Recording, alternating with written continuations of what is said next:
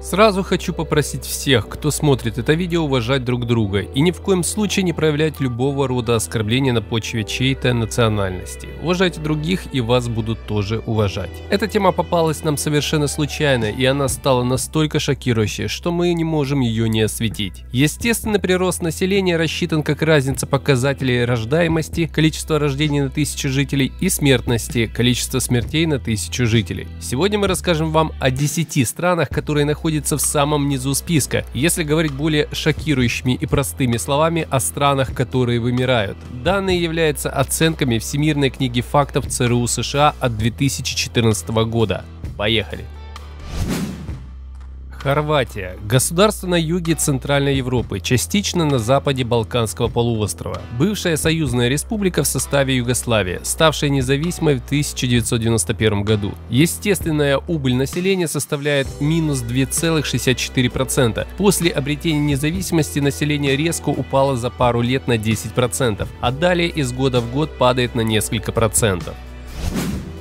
В Беларуси, которая, напомним, занимает первое место по употреблению алкоголя на душу населения, естественная убыль населения составляет минус 2,65%. Население Беларуси стабильно медленно уменьшается, в основном из-за эмиграции и малой рождаемости. Идет старение нации.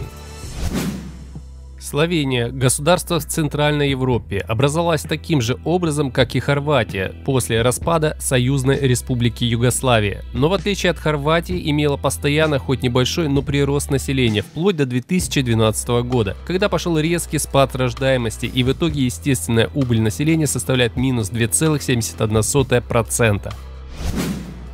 В этот топ неожиданно попадает Германия с естественной убылью населения минус 2,87%. Происходит это потому, что Германия относится к странам с самой низкой рождаемостью. Помимо того, что количество новорожденных столь мало, средний возраст впервые родивших молодых женщин составляет около 30 лет.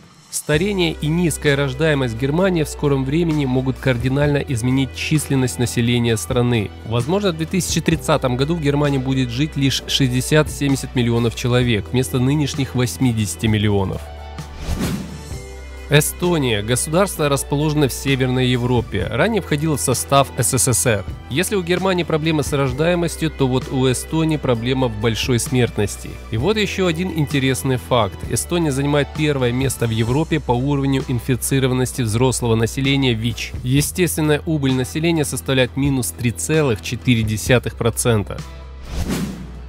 Венгрия – государство в Центральной Европе. Естественно, убыль населения составляет минус 3,46%. Есть очень интересный факт. С 1946 года наблюдается постоянный рост населения вплоть до 1982 года. Начиная с этого года население постепенно пошло на спад. Информации, что же случилось в 1982 году, мы не нашли, так что если вы знаете, пишите. Латвия, которая граничит рядом с Эстонией, естественно, убыль населения составляет минус 3,81%. Возможно, причина кроется в том, что по данным Центрального статистического управления на конец октября 2009 года удельный вес детского населения от 0 до 14 лет составляет 13,8 от всего населения республики. То есть рождаемость 90-х вообще была катастрофической. Реальное население страны составляет около 1,8 миллионов человек человек, то есть на уровне 1920 года.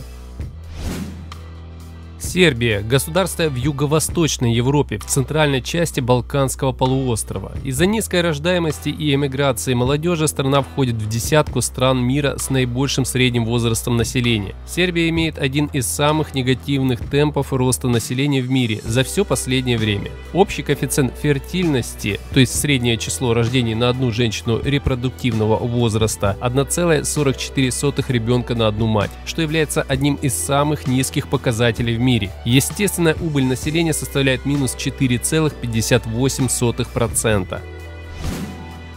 Болгария – государство в юго-восточной Европе. В конце 1980-х годов население Болгарии вплотную подошло к 9-миллионной отметке, но затем стало уменьшаться. Сейчас среднестатистическая болгарка в течение жизни производит на свет 1,3 ребенка. Чтобы поддерживать численность населения хотя бы на постоянном уровне, этот показатель должен равняться 2,2 ребенка. Болгарские специалисты в числе основных причин такой тенденции называют низкую продолжительность жизни по отношению к другим странам странам Евросоюза. Кроме того, с 1989 по 2004 год 800 тысяч болгар, 10% населения, в основном молодежь, покинули страну. Естественная убыль населения составляет минус 5,38%.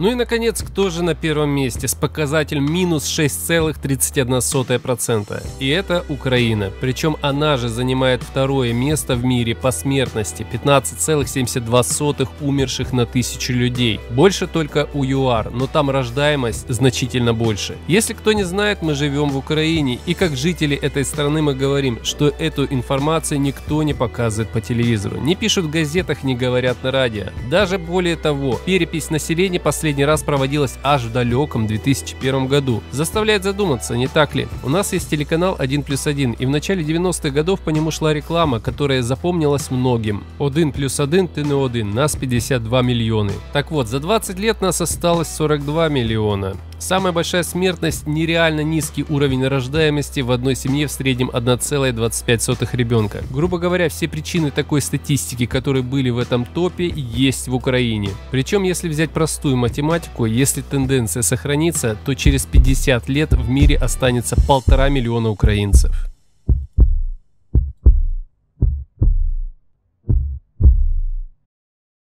И да, кому интересно, Россия занимает 27 место, только уже с коэффициентом не убыли, а прироста, который составляет 0,2%. Причем только в 2014 году Россия впервые с 1989 года вышла в прирост с убыли. Максимальная убыль составляла в 2000 году минус 5%.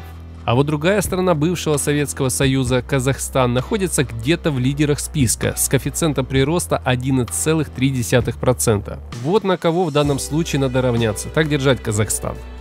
Ну что ж, на этом все. Очень надеюсь, что такая плохая статистика в славянских странах изменится в лучшую сторону. До скорых встреч. Пока.